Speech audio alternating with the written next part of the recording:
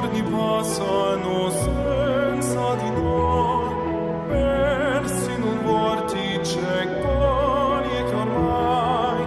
non né una direzione, ma il ritmo del tempo che scorre, scorre, scorre senza mai fermarsi.